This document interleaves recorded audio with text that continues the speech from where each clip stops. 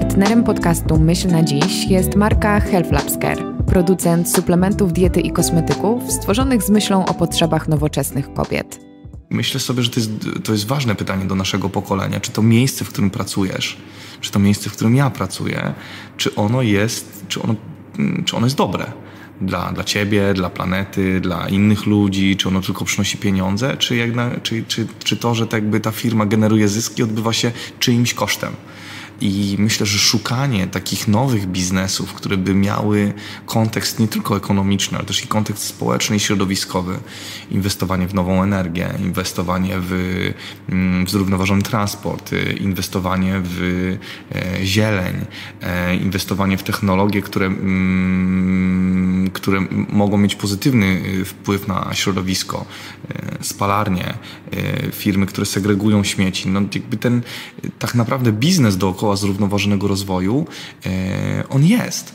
Tylko e, my musimy go odkryć i zrozumieć, że mm, ta gospodarka, którą stworzyliśmy, nie jest do końca uczciwa.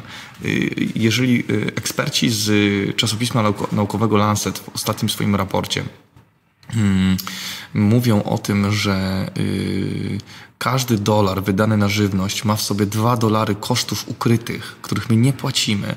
Dolar środowiskowy i dolar zdrowotny, to znaczy, że my płacimy za jedzenie w sklepie złotówkę, ale tak naprawdę ono całe społeczeństwo kosztuje 3 złote bo jakbyśmy wzięli pod y, uwagę subsydia do rolnictwa, to jaki rolnictwo wywiera ślad środowiskowy i to, jakie ta żywność generuje koszty dla systemu opieki zdrowotnej e, i systemu ubezpieczeń społecznych, to by się okazało, że y, wbrew pozorom ta żywność jest wielokrotnie, powinna być wielokrotnie droższa.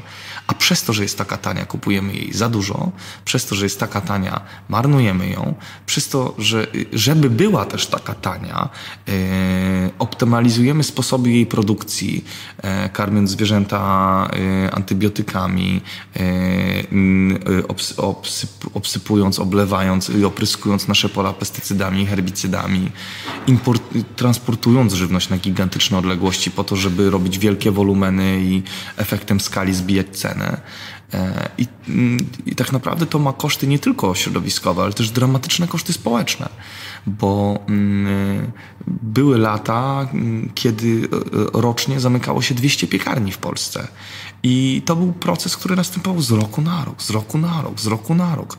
Z drugiej strony mamy kilka piekarni w tym kraju, które są warte 300 milionów złotych, gigantyczne nowe fabryki chleba.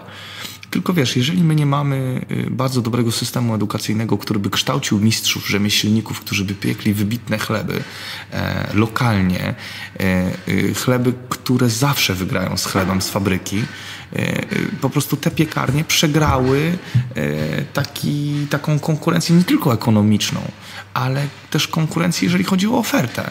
Poza tym myśmy przegrali edukacyjnie w tej sytuacji, bo konsument y, czy obywatel właściwie, bo często to też śmieszne, że jakby o obywatelu zaczynamy mówić konsument.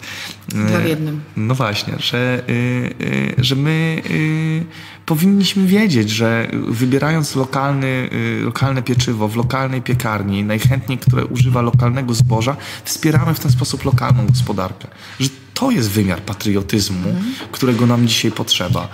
Nowa myśl na dziś czeka na Ciebie od wtorku do piątku o 7 rano.